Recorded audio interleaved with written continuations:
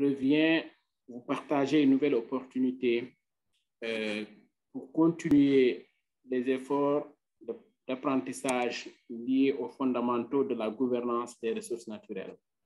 Cette fois-ci, le cours va mettre l'accent sur le lien entre l'exploitation des ressources naturelles et la question du genre, c'est-à-dire l'intégration du genre.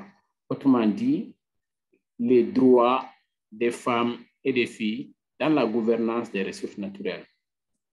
Dans ce cours, nous mettrons l'accent beaucoup plus sur la notion de plaidoyer et de campagne, c'est-à-dire quels sont les outils de plaidoyer et de campagne qui devraient aujourd'hui être mobilisés pour renforcer la prise en charge du genre ou l'intégration du genre dans la gouvernance des ressources naturelles et en particulier dans la gouvernance des mines artisanales et à petite échelle. Donc, c'est ça qui va composer le cours présent dans les deux à trois semaines qui arrivent. Alors, il faudrait rappeler qu'à l'échelle mondiale, il y a une forte dynamique en faveur d'interventions axées sur l'égalité des sexes et l'autonomisation économique des femmes.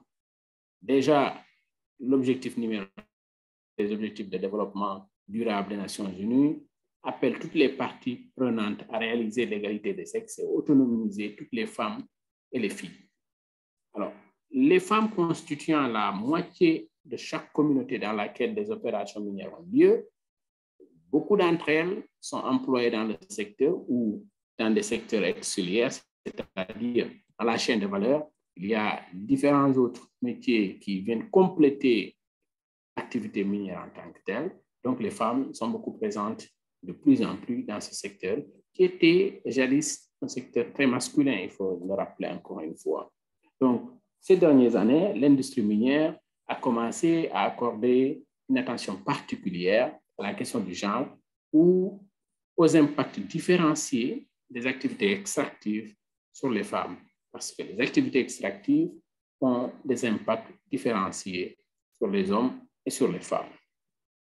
Alors, l'objectif de ce cours est de renforcer la capacité des acteurs, notamment non étatiques, c'est-à-dire les acteurs de la société civile, les médias, et même étatiques, c'est-à-dire les parlementaires, les ministères, parce que c'est eux qui prennent les décisions. C'est important que ces acteurs aussi soient renforcés pour comprendre un peu la dynamique genre du secteur extractif. Donc, ce cours vise à renforcer les capacités de ces acteurs-là pour qu'ils comprennent beaucoup mieux comment les activités extractives affectent différemment. Alors, le cours portera sur des données contextuelles, c'est-à-dire sur du vécu, sur de l'empirisme, avec des exemples précis de divers pays, mais aussi il va accorder une attention particulière sur le cadre politique et juridique, notamment en Afrique de l'Ouest, euh, qui encadre la gouvernance des ressources naturelles pour voir jusqu'où il est sensible au genre. Donc, l'objectif est de fournir, au bout du compte, aux parties prenantes et à l'ensemble des participants à ce cours les outils techniques de plaidoyer et de campagne pour consolider, consolider leur engagement. Alors, chers apprendre dans ce cours. Dans ce cours, vous recevrez des recommandations sur les actions que vous pouvez entreprendre en tant que représentant de la société civile ou bien des médias ou des parlementaires pour plaider pour une intégration systématique des femmes dans la gouvernance du secteur extractif, de sorte que les femmes aussi puissent bénéficier de façon équitable des retombées positives du secteur extractif. Ce cours vise aussi à faciliter votre engagement ou l'engagement des femmes dans les projets des programmes que déroulent les acteurs de la société civile et qui viseraient à éliminer la violence sexiste, c'est-à-dire la toute forme de discrimination à l'égard des femmes dans les communautés qui sont touchées par l'extraction des ressources et notamment par l'extraction artisanale de ces euh, ressources. Alors, pour organiser ce cours, nous avons compilé des recherches, notamment de diverses institutions telles que IDF, des recherches des productions littéraires de diverses autres organisations, Oxfam, de ce que vous payez, et d'autres acteurs qui sont dans le secteur et qui travaillent pour renforcer la prise en compte du genre dans l'industrie extractive.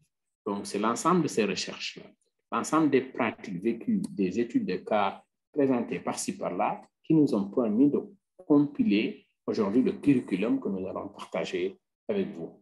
Donc, le cours se concentrera principalement sur les impacts du secteur extractif ou du secteur minier sur les communautés et notamment sur les femmes de façon spécifique. Alors, comment nous allons procéder? Euh, Le cours est structuré pour se dérouler sur une période de quatre semaines. Euh, la cinquième semaine sera consacrée à l'évaluation finale. Donc, ce qui veut dire qu'il y aura deux évaluations. Mais tout au départ, nous allons lancer une sorte de baseline survey, une sorte d'étude de référence pour comprendre un peu le niveau de connaissance des apprenants de la question du genre dans le secteur extractif. Mais ça, c'était juste une, ce sera juste une évaluation de départ pour nous permettre de nous adapter en fonction des besoins des apprenants. Mais sachez qu'après chaque cours, il y aura des quiz, bien des questionnaires euh, que vous devrez valider pour passer au cours suivant. Et enfin, nous aurons un examen final parce que le cours sera sanctionné par, euh, à la limite, euh, ce qu'on appelle un certificat de réussite qui sera délivré par l'institut qui a organisé le cours à tous les participants qui auront reçu des évaluations liées au contenu présenté dans chaque module. Donc, euh, il y aura aussi, disons, des échanges comme le précédent cours d'ailleurs, dans, le cadre du forum, des interactifs.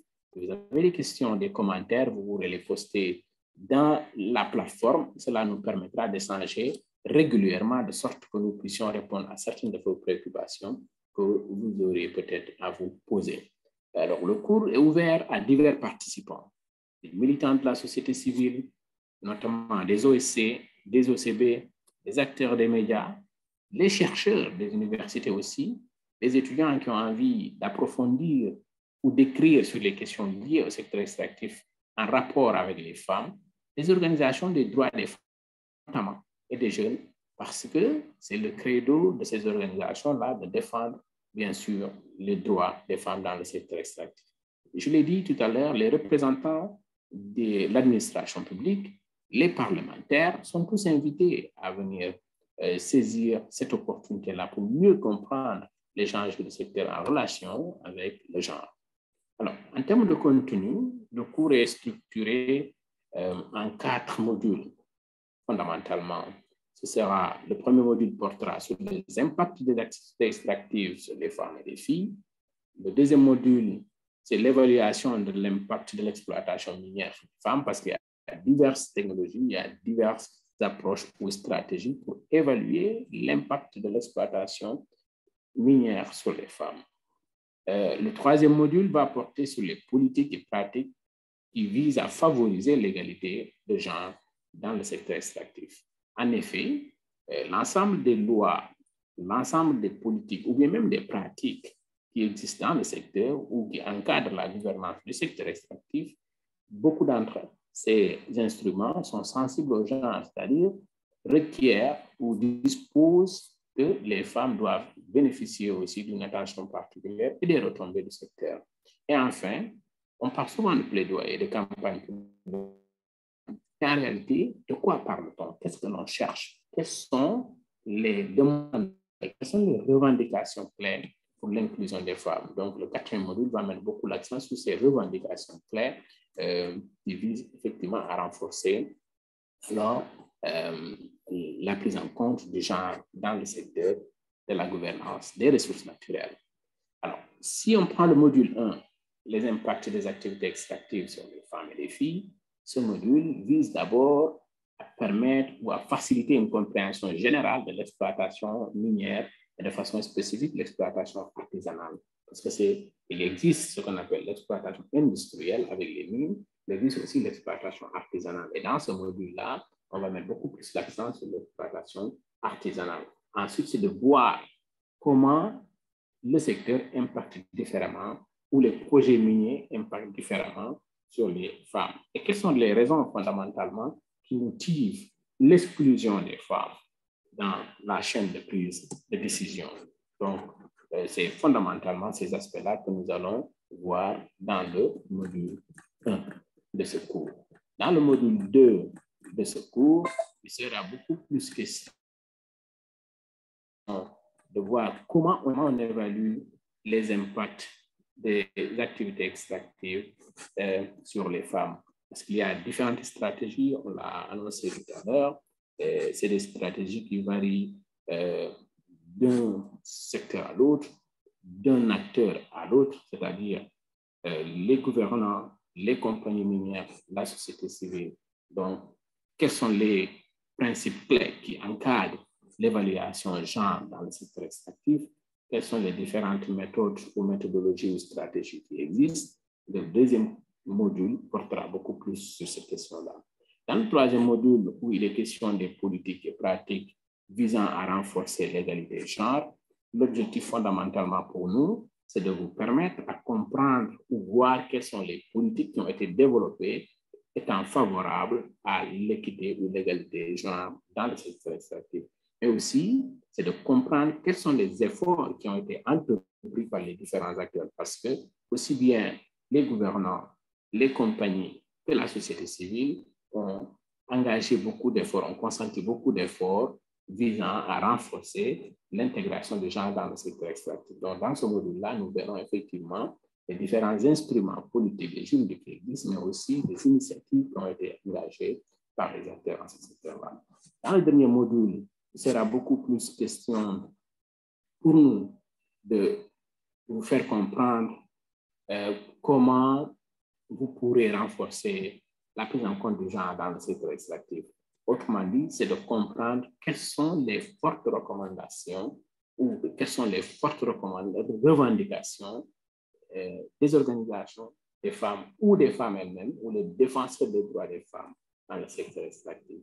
Et pour cela, il y a un certain nombre de revendications qui ont été compilées par les organisations de femmes même euh, lorsque il était question d'évaluer euh, les efforts de l'ONU, ce qu'on appelait Beijing plus 25, dans la gouvernance notamment euh, des droits et fondamentalement des droits des femmes pour voir un peu jusqu'où les, les instruments qui existent ont pris en compte les préoccupations des femmes.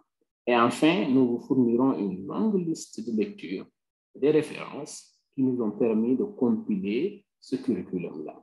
Nous sommes référés à des études, et beaucoup plus que ce que nous vous fournissons dans ce cours-là, mais nous avons partagé beaucoup plus les liens, euh, les références qui ont des liens Internet que vous pourrez aller consulter vous-même pour voir d'où est-ce que nous avons tiré la plupart des éléments que nous avons partagés dans ce cours-là, en plus de notre propre expérience, en plus de nos propres lectures, euh, qu'on n'a pas à partager ici, parce que certains documents n'existent qu'en copie physique, on ne peut pas les partager ici. Donc, nous avons préféré mettre euh, dans la liste des références et dans la liste de lecture, tout simplement les documents auxquels l'ensemble des participants pourront avoir accès à travers l'Internet. Donc, voici de façon très résumé ce à quoi on va s'attendre dans ce présent cours. Nous vous remercions.